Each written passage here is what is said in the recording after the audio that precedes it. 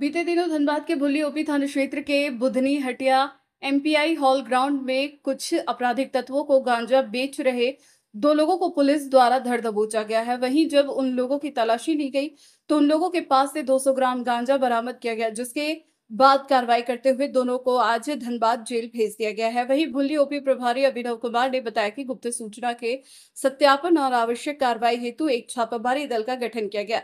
छापेमारी दल के द्वारा गांजा बेचते हुए दो व्यक्ति को पकड़ा गया है, जिसका नाम श्यामदेव कुमार और प्रकाश कुमार रवानी है। दोनों को गिरफ़्तार कर थाना में पूछताछ के बाद प्राथमिकी दर्ज कर न्यायालय में पेश किया गया। उसके बाद दोनों को जेल भेज दिया गया। वरीय पुलिस पदाधिकारी के द्वारा ये इंस्ट्रक्शन मिला था कि जहाँ भी नशा खोरी का ज़्यादा ये चल रहा है, वहाँ पे कार्रवाई करने का। तो कल वरीय पदाधिकारी के द्वारा सूचना दिया गया कि बुधनी हटिया के पास एमपीआई हॉल ग्राउंड जो है वहाँ पर कुछ लोग जो हैं, दो लोग जो है गांजा का बिक्री कर रहे हैं। बच्चे भी उनसे खरीद रहे हैं उसके समाज पे दुष्प्रभाव पड़ रहा है।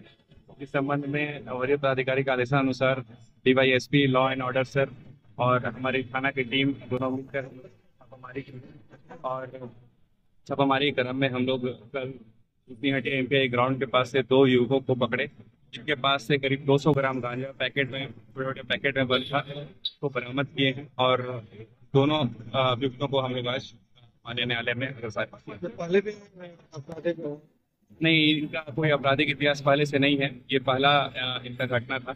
और ऐसे लोगों को हम लोग चिन्हित कर रहे हैं और आगे भी ऐसे कार्रवाई कर रहे हैं।